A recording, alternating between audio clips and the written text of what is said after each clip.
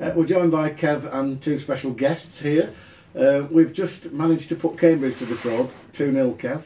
Uh, it's been a good day for you, two goals, perhaps could have had a couple more, could have had a penalty. Been a pretty eventful day, really.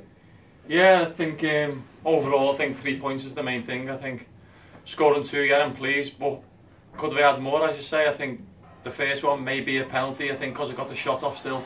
You never give it, but I'll take two goals and a 2 0 win all day long. And uh, looking at the, the gentlemen that have got beside you, they've uh, helped swell the crowd today. They've come all the way from Milan. Um, do you want to explain why you're here, guys? Yes, because uh, five or six, uh, five or six years ago, we started to play with FIFA, Yeah. and we selected a random team, and was Morecambe, of course, and Is that why was that? Why did you select Morecambe? Because the logo is amazing. yes, the, the stamp is amazing. Uh, we start every year to play always with Morecambe. I never use Messi or Ronaldo, always Kev. Always else. always Ellison, yes.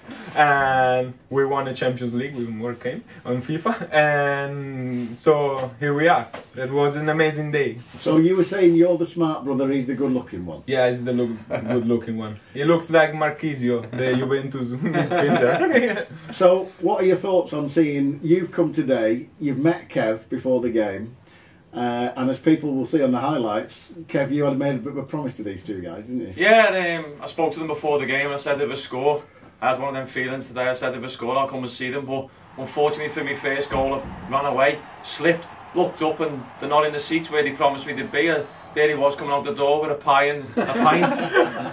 um, so I had to score another and obviously go and find them. And that's a, that's a good bit of film. So, looking at you two guys, tell me about the day you've had today. Oh, it was an amazing day. We we wake up very early. We take a train. We we arrive at the stadium and we we make a tour with Mark and we see the changing room. We speak about the with the boss. We met our hero. Let's not forget they've um, when they've got the train today, they've walked an hour from Lancaster to the ground. If they'd, I didn't know I'd arranged something to obviously get them sorted. Now I've got them. A, they're not walking an hour back, so we've got them a lift back home to the train station. yeah. So, so carry on. So we we met a lot of funny people, a lot of lovely people. I love this atmosphere. It's really familiar. It's really a really warm day. The weather is, was freezing, but but the people was really warm. So the match was fantastic. He he scored two a couple of goals. Uh, one we we lost on the, the celebration, but the second celebration we we hugged him. Yeah. And so, fantastic day. Thank you. Thank Thank, you. you. very much. So, what, what we need, Kev, is we need to, these, these two brothers to go back to Milan and come back. I need them every week now, don't I?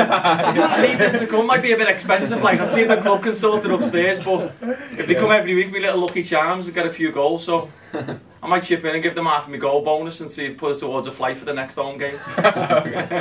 Yeah. Well, obviously, we're, uh, you know, AC Milan, red and black. Yes. Rossoneri, us, red and black.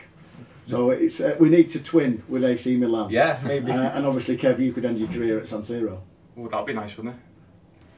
Rolling back the years with Baresi and Maldini, Georgie Weah. Yeah, well, actually, if you play, Cost- if, you Costa could, you, Keita. well, you'd be the fittest one in the veterans game if you played now after today, wouldn't you? I don't know. I'd like to be like. I hope so. Hey, you were still there at the 95th minute, chasing it down, weren't you? That's the main thing, innit? All right.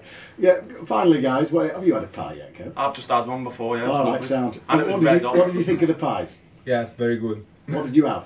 Uh, the meat and potato one. Okay. Yes. Meat and potato one. Yeah. Okay. Chicken's the best. Chicken. Chicken. Chicken was okay. the best I never tried. The chef says he, he sells them in Harrods now, in London. Yes. Yeah. Okay. Next time.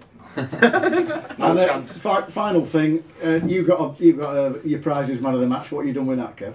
I've gave it to these, these two guys. Obviously, come a long way and supporting not just me, they're supporting the club, aren't they? And um, so I thought it'd be a nice little gesture to give them a little little bottle of champagne for on the way home. They can have it on the train on the way home. yes. I think that's that's a, nice, nice present. It's Yes. a fantastic story. Obviously, we've been through the mill in the last three months. I know, you know, as staff and players and fans, it's been a really tough time. This is a lovely, really, lovely way to end what's been a fantastic day for all of us. So, thanks for coming, guys, and Kev, well done, man of the match. Cheers, Thanks boys. for all. You're welcome. Thank you. Nice Thank to meet you anyway. Thanks. Cheers. That's a wrap.